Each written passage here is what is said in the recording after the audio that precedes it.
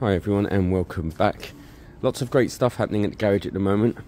Lots of nice projects.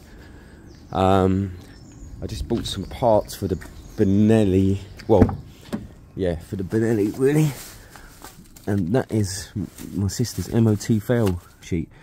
Uh, matte lacquer, lovely. It's exactly what I wanted. Ignition switch. I've actually got one in the post, but I'm lazy. Lazy? Impatient even. And some fuel pipe for the CB200. So we're, we're, we're moving. We're making uh, some movement there. That Benelli could be nipped up tomorrow. Nipped up, tucked up, could be ready tomorrow. Uh, for an MOT if of course everything else around it is fine shocks pads etc took my sister's car to MOT yesterday and it failed on this right shock absorber being um, insecure. It actually says the coil spring is insecure. Now, I can't remember if it's this that holds it together or if there's a nut inside holding the coil spring on and then you pull it up to here. I think it is that system. There's a nut on the inside that will obviously need tightening.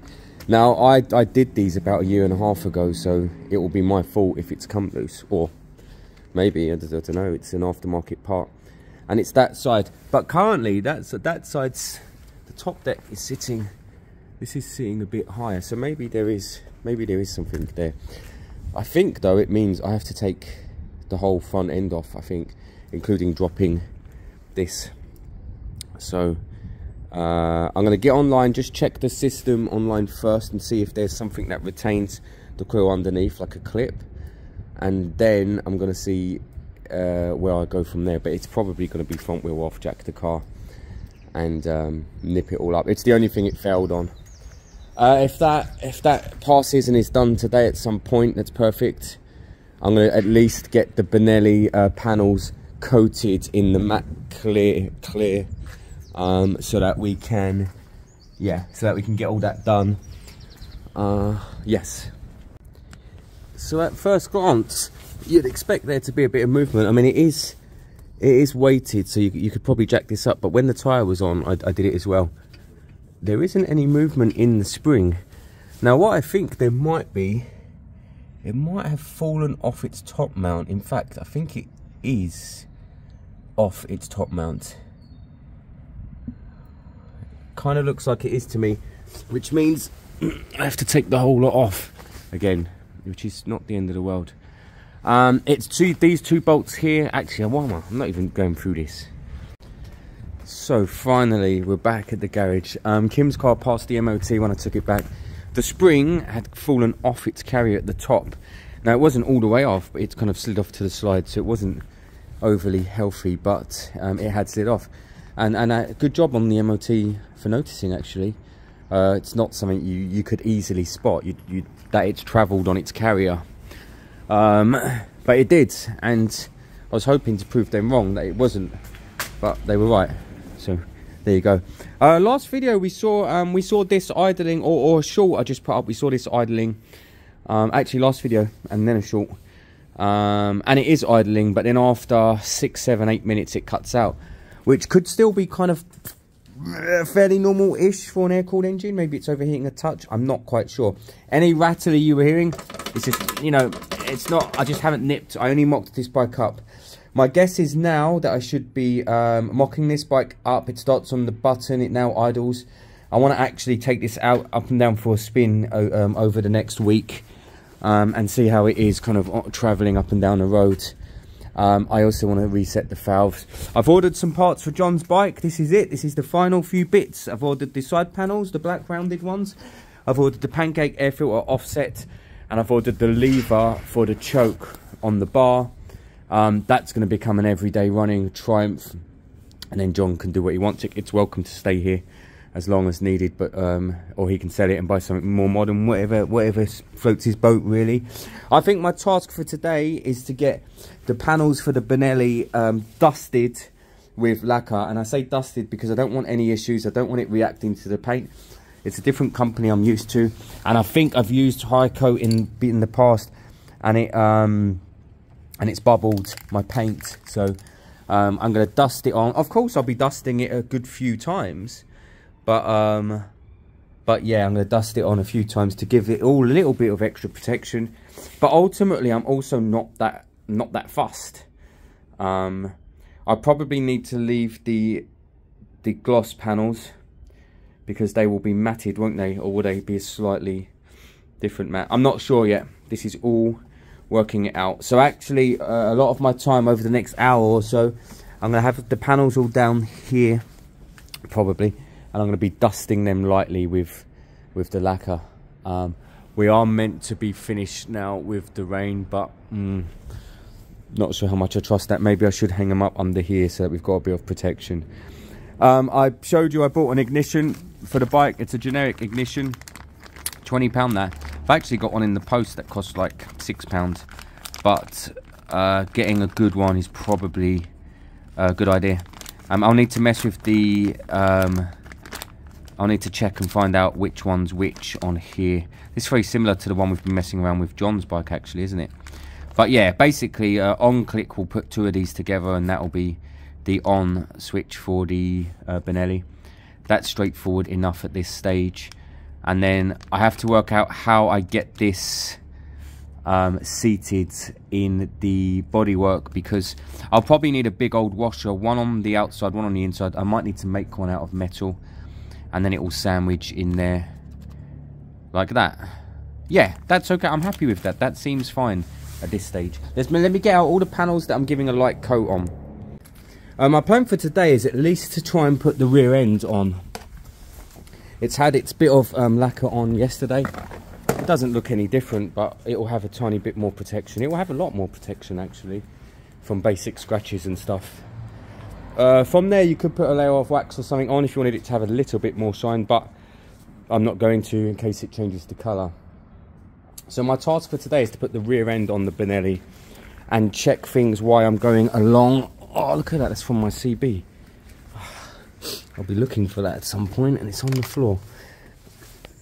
Is the other one in there? Yeah, it's there, look. And then, of course, uh, at some point the CB, this CB here, I'm going to be putting back together with, I bought new fuel line.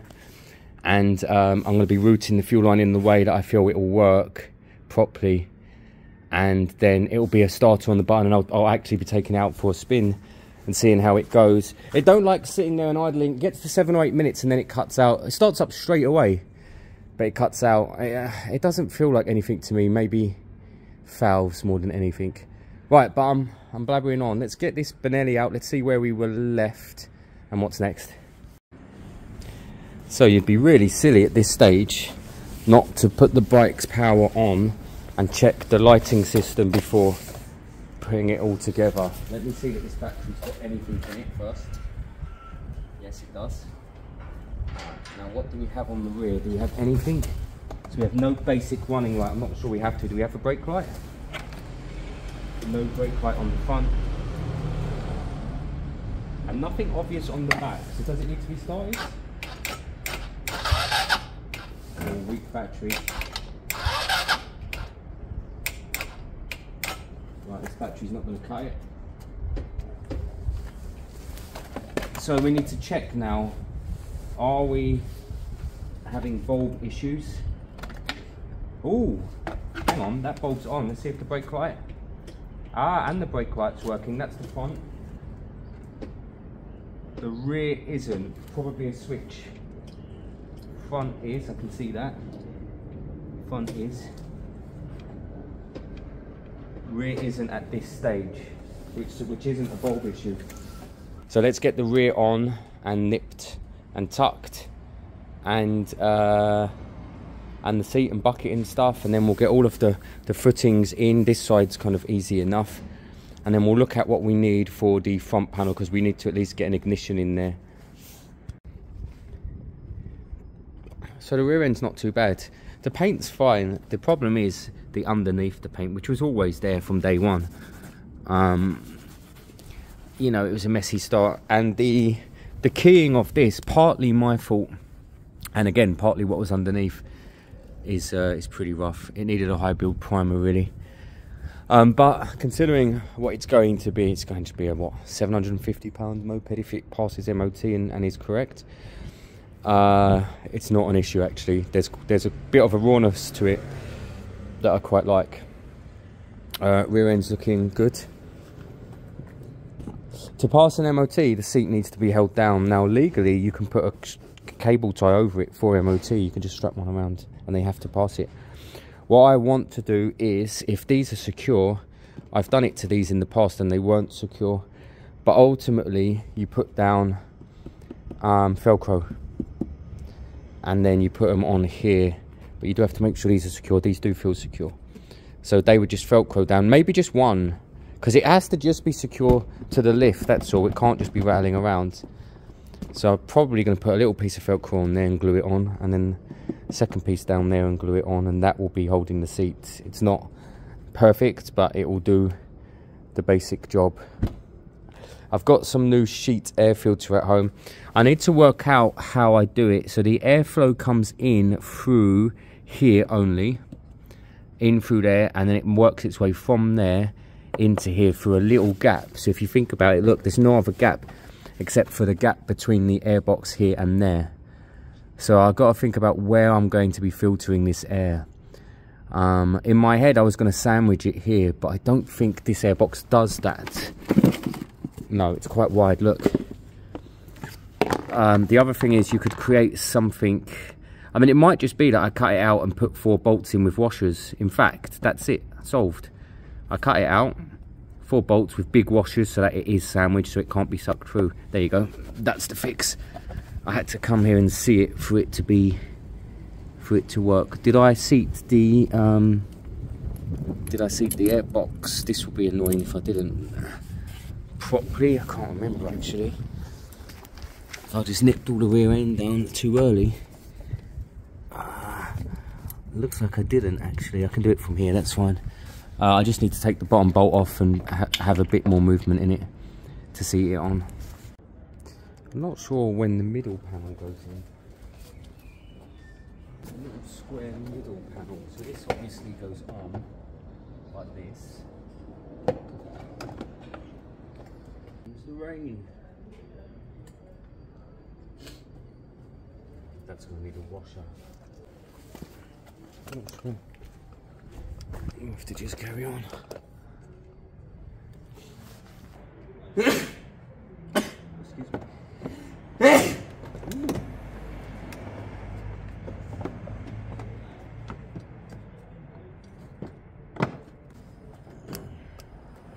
When I'm doing little bolts down here now, you have to be kind of wary, have it in mind that you're probably going to have to take some of these out so next step for me is that front panel, but actually that's also the front panel where we have to think about the switch and wiring. So let me go and get the switch. I've got two switches.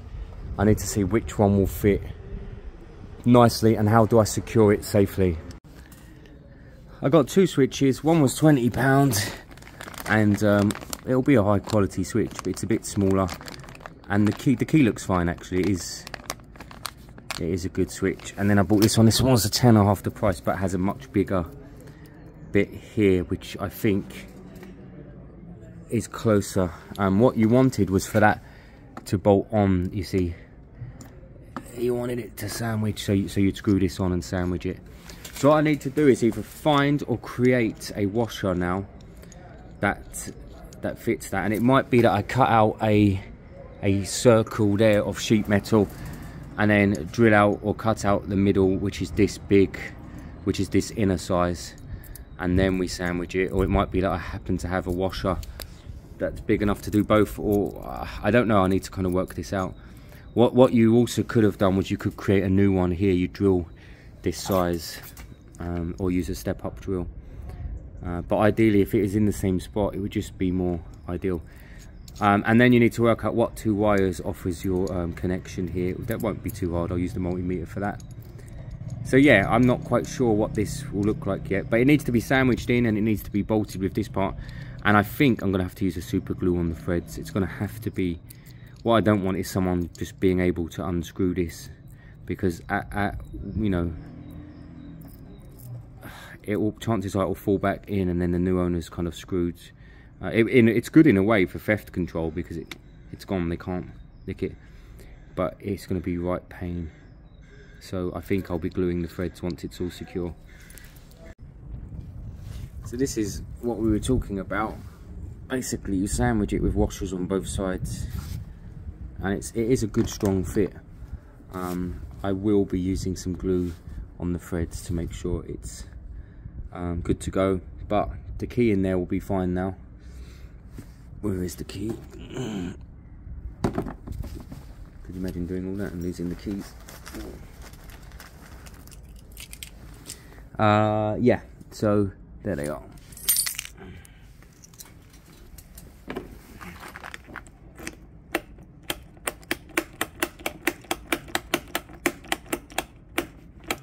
So I'm, I'm, I'm happy with that overall.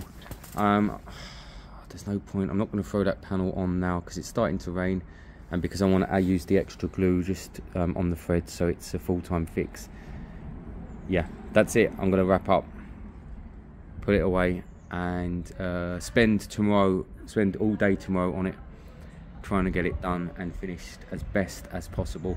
Things are bound to pop up. It might need a front, a rear brake light switch, but if we can get it close, it's a good start.